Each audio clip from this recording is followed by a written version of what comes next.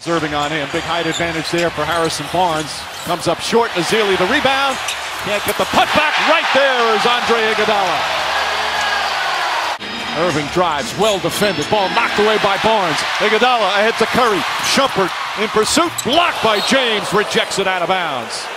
Good hustle defensively.